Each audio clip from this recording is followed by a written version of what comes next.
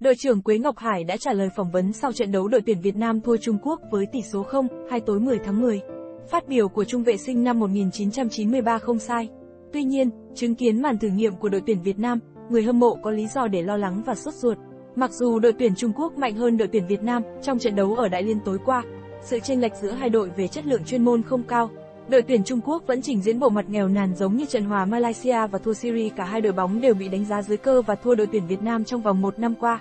Thời điểm này, có thể chia tất cả thử nghiệm của huấn luyện viên Chusier thành hai nhóm, thử nghiệm về nhân sự và thử nghiệm trong lối chơi. Thử nghiệm về lối chơi mang tính vĩ mô và đội tuyển Việt Nam đang ở bước chuyển mình quan trọng.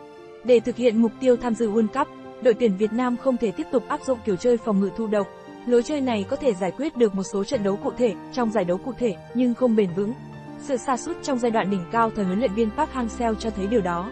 Huấn luyện viên Chusier đang hướng đến lối chơi kiểm soát, và mặc dù không thể yêu cầu các cầu thủ Việt Nam kiểm soát bóng nhiều khi đấu với các đội vượt trội về đẳng cấp, quan trọng là họ phải có ý tưởng cụ thể về cách chơi bóng, với sự định hướng và mục tiêu khi giữ bóng. Huấn luyện viên Chusier có một triết lý bóng đá kiểm soát rõ ràng.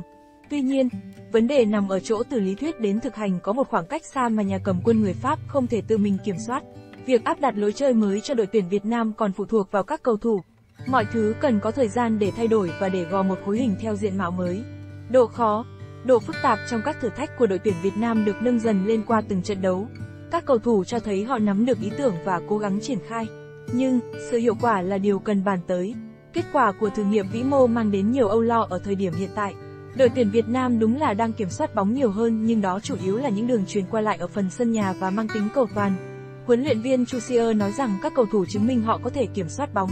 Tuy nhiên, đội tuyển Việt Nam chưa trả lời được câu hỏi, kiểm soát bóng xong làm gì? Đội tuyển Việt Nam thua đội tuyển Trung Quốc. Cuối cùng, những tình huống có thể mang về bàn thắng lại là các pha bóng cố định, các pha bóng truyền dài cách nhanh nhất để tiếp cận khung thành đối phương. Có nghĩa rằng, lối chơi của đội tuyển Việt Nam chưa thật rõ ràng, chưa có nhiều mảng miếng. Thử nghiệm chiến thuật trong 6 tháng đầu tiên chưa mang đến kết quả đủ tốt. Thêm vào đó, việc ông Chusier xoay quá nhiều nhân sự khiến người hâm mộ mơ hồ về bộ khung của đội tuyển Việt Nam thời kỳ mới. Đội tuyển Việt Nam đang ở bước chuyển giao và đặt trong hoàn cảnh thử những thứ khó hơn trước, sự trục trặc là điều có thể được thông cảm. Tuy nhiên, khi thử nghiệm chưa mang lại kết quả tốt, người hâm mộ đương nhiên cảm thấy sốt ruột. Sự chỉ trích, thê bai là điều dễ hiểu.